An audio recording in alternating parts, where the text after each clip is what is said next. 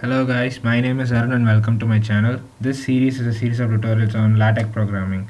Now, in this tutorial, we'll be looking uh, on how to include images and figure, I mean, images or figures in LaTeX.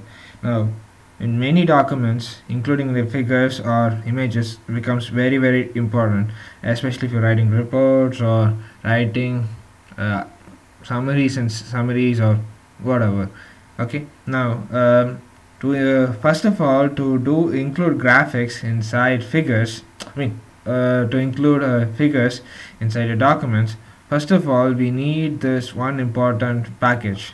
Number one that package has to be one package has to be included and that package is called as graphic x. Graphicx. Okay um, okay. Now if this package is necessary uh, so I'll just write a comment over here. Include this for including images. Include this for including images. Okay fair enough. Okay now once that is done okay to include an image okay first thing you have what you have to do is that you just have to uh, tell uh, keep the images in the same folder where your image for where your tutorial folder is for I mean where your uh, tex file for instance this is the tex file I'm working on and this is the image I'm going to work with. It's actually my uh, my I, my institute logo where I where I did my master's degree Indian Institute of Science. This is the logo I'm going to use in the image as I'm importing image so let's go look at that okay? Okay now that file being in that image file being in the same folder where the tex file is okay? Now let's do about it. Let's what I'm going to do I'm just going to cut this set of dark commands and I'm going to place them over here. And let me just run this to see what happens okay? There you have it. See the image is nicely placed in the document at the center of the document with the figure label with the figure caption at the bottom and everything. Now let's uh, to get this done we just used a lot of commands over here. Now let me just walk you guys through what's happening. Now to place an image okay this command include graphics alone is sufficient. So let me just copy this okay.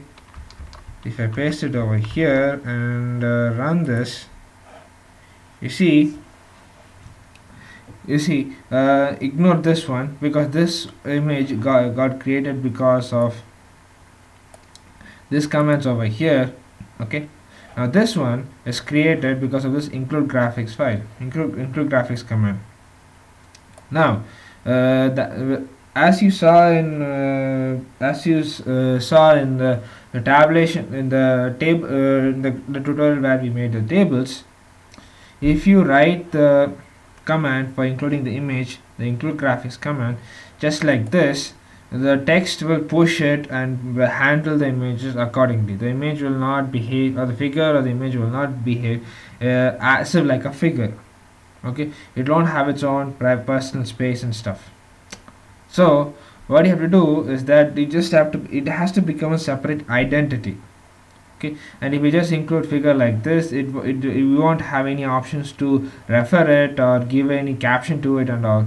So which this might be a little annoying if you're going for a little more professional documents. So best practice is don't include include graphics line alone usually if you're doing a presentation and uh, you just you don't and you're, not going to pinpoint to the figures by saying that okay that figure in slide number 26 uh, has these features and like that if you're not going to do that kind of a referencing then this line alone is sufficient. But if you're writing a document or an article or a report let's say uh, it's better to write within begin figure and end figure environment commands. So this is about it write it between begin figure and end figure this command include graphics. And this alone is more than sufficient. Okay now wh what we're going to give next is a little bit important. Okay just for making the figure a little more fancy. Centering command backslash centering is used to make this figure apply, uh, display in the center of the page okay? And now this command backslash caption with figure with uh, contents over here is used for giving the caption that we want to write over here. For instance instead of figure title let me write the let me write uh, uh, this is the logo of my farmer institute so if I were to build this okay that image at the bottom went away because I just removed the command.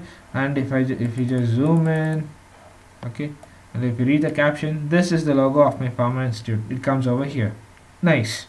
Okay now now this label back this command backslash label is used for giving a reference so that we can refer this image somewhere in the document it is just like how we use the label command in the table and this caption command is just like how we did in the table so it's not a difficult thing. You can just keep it as it is.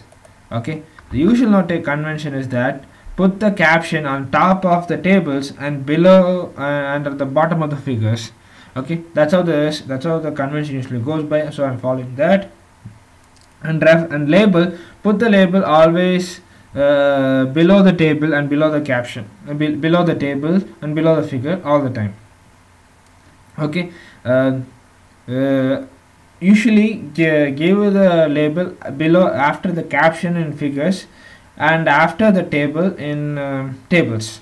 That's about it. And then you just cannot use all the images image formats in LaTeX uh, LaTeX has its own uh, limitations of what images it can use and all. Okay, the allowed extensions, uh, the allowed image extensions in LaTeX are PNG, JPEG, PDF, EPS, GIF, and JPG. Okay, JPEGs, uh, those are JPEGs, P, uh, PNG are more or less very common. And uh, if you want to use a, if you want, if the image is in a PDF file, then even that's good, not a problem. If it's GIF, I, it will work I haven't used GIF figures before but I, I heard that it works nicely it works well so check it out. And uh, if you, you, also have the feature to use EPS or PS figures P, EPS means encapsulated post script figures. These figures have kind of uh, a lossless compression meaning the images image colors are maintained during the compression uh, if you use JPEG or PNG and uh, if you try to compress the images the color quality fades when this with this reduction in size and they become granul they become granular pixelated. So as a reason if you as a reason if you have a high resolution if you have a uh, an image with extremely good resolution scale it down reduce the size of it and in the process the image quality blurs away, goes away, and the color quality fades away in JPEG and PNG. EPS has a different kind of an uh, shrinkage mechanism wherein it shrinks the size of the image without losing the color without losing the color quality okay so if you go for certain publications and papers and even some certain research uh, articles and documents they prefer J uh, EPS images over JPEG. And besides EPS images are smaller in size and uh, and more, much more colorful. And they kind of nicely embed uh, they kind of nicely print the, print themselves on the paper on the paper uh, so they are much preferred.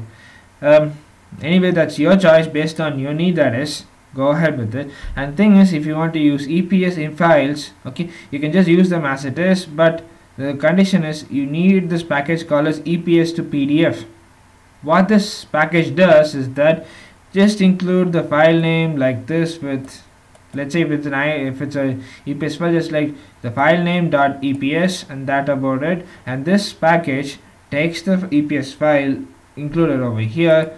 And during the first run it converts that file into an equivalent PDF file. And that PDF file I mean, uh, that PDF file will have the same EPS image with no loss in color okay? And that PDF file will be embedded in the place of the image.